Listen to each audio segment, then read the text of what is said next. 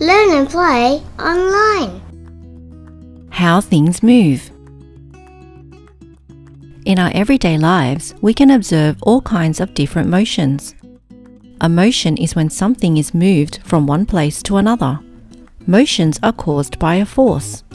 A force is an interaction between two objects. Forces such as a push or a pull is what puts objects into motion. But how can we describe or explain how things move? Let's explore some motions together. This motion is when things can bounce.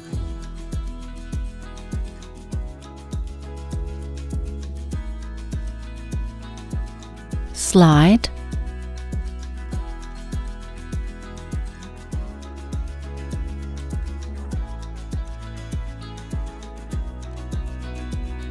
Roll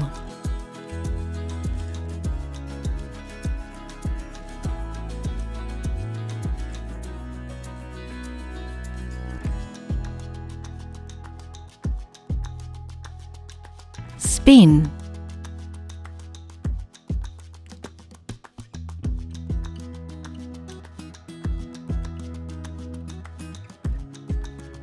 and even fly.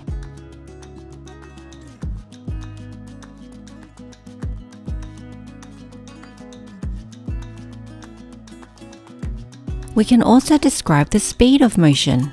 Things can move fast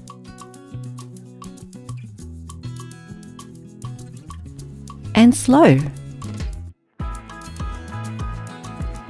Motion can take form in different directions too. Back and forth,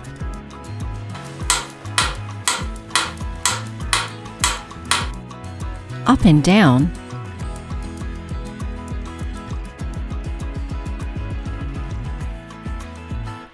and spin around and around.